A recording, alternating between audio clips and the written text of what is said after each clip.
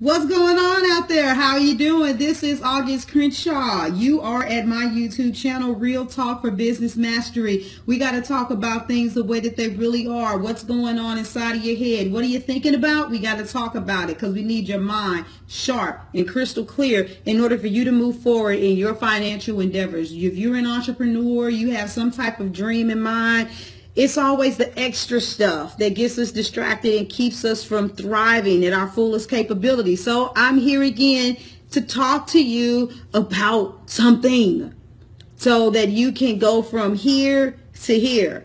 Now, today's topic, I have a question. What are you willing to give up in order for your dream to come to pass? I mean, what what could, what would you just uh, let go of? I mean, relationships, houses, jobs.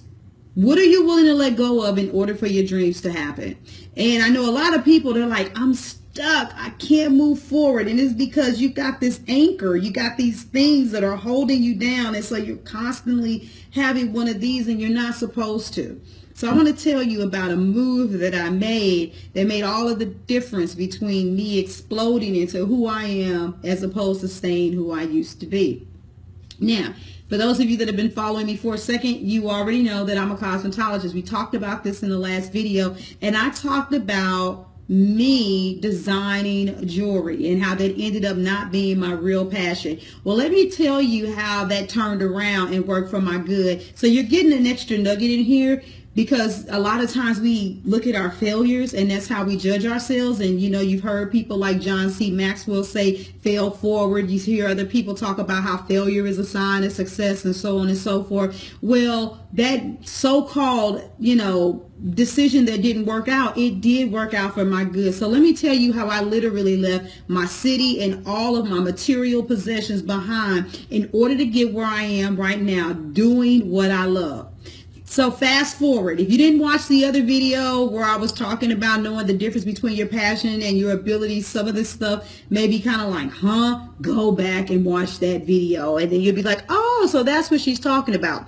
So anyway, this is what goes down, right? I go and I tell my clients, hey, I'm not going to do hair anymore. I want to go and I want to switch things up and I'm going to sell the jewelry full time. Now my clients, most of them have been with me anywhere from five up until that 20 years that I had been a cosmetologist. And so when I told them that I was getting ready to take on another business endeavor, they were like, man, we kind of had a feeling it was coming because you're having so much success with it go for it. Well, what ended up happening, I'm from St. Louis. I ain't crapping on my city, but I always like to say that St. Louis sometimes is kind of plagued by the state motto, the show me state. They always want you to show them something, but you can't show faith. You know what I'm saying? You can't show vision. And it, it's one of those places where you kind of feel like you're a crab in a barrel and there's a lot of, you know, hating, undercover racism, you know, stuff like that, discrimination it's there. If you live there, you know it. You know, Mike Brown didn't happen there for no reason. I know stuff goes down everywhere, but just real talk. I'm just, it, it, it is what it is, you know, but that's not where this, this video is going.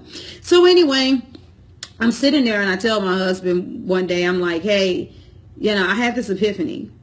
I think we should leave St. Louis. Do you still want to go? He's like, yeah. And it was crazy because it happened like 72 hours after I sent out a mass message to my clients saying, I'm not going to be able to do your hair anymore because I'm doing X, Y, and Z. We're going to have our one-on-one conversations about this and I'll cycle everybody out. Well, I thought that I was going to phase them all out over six months to a year and make this transition. But in 72 hours from letting go of that anchor of my business. So that was one anchor. I had a very well established business. My destiny was calling me and pulling me to something else, but I was never going to get there because I was too attached to something that I had established and I had to let it go. So designing the jewelry opened up my mind to something new and beautiful about myself and I wanted to explore that. Letting go of that anchor also allowed me to let go of the anchor of my hood, you know, where I came from. And my husband said he was ready to go and we were just looking at St. Louis and we're thinking I'm going to do this jewelry thing and I need to be in a city with more diversity and, uh, you know, so we like, let's get out of here. We didn't know exactly where we were going to go, but within about 72 more hours, I woke up one morning and just randomly started looking for houses for rent in Houston. Told him, he was like, I'm good. Let's go. And from there, that was April the 15th. We told our friends and family, hey, guess what? We're moving. We're going to Houston. They were like, huh? Really? When? You know, he got another job. He transferred. Nah, we'll be gone by the summer. And everybody looked at us like we were crazy. And I was like, we, what are you going to do with your house? We're going to sell it. Really, Auguste? And the market here? Yeah, we're going to sell it. I was so laser focused and my husband was right there on the same page with me. You want to know what we did? Within two weeks, we had already gotten everything set up for a moving sale every non-essential thing that we didn't need, we got rid of it. If it wasn't sold, we gave it to the Goodwill. Things that were too old, we threw them in the trash, and our house was empty. We found us a realtor at the beginning of May. She told us a few little things to do to kind of give it a little extra sprucing, put the house on the market at the end of May, and found a buyer in, in 72 hours. And basically the rest is history. Now here's a funny twist while we were doing all of this stuff because I was busy moving, I was still taking care of my clients, getting the house together, doing the moving sale. I had a, uh, at that time like a nine, 10 year old. I was homeschooling. I'm doing all of these different things. I was getting super duper tired. And I had no idea why. And I had had a procedure done. I wasn't supposed to be able to get pregnant. Guess who was 22 and a half weeks pregnant after the house was under contract? The house got put under contract like June the 2nd. I found out on June the 23rd or the 26th, something like that. Well, guess what? It was good that I found out later because my husband had an excellent job with excellent benefits. And if I had known that I was pregnant, that's another thing that would have helped me. Oh, the birth of the baby and the family members and such and such seeing their grandchild or their great grandchild and these wonderful benefits. And I love my doctor, but we was, we were already all in. And it was like, we didn't sell up all this stuff and get rid of all this stuff to go and go find an apartment and start all over again in St. Louis. And to top it off, when our house was supposed to close, it didn't.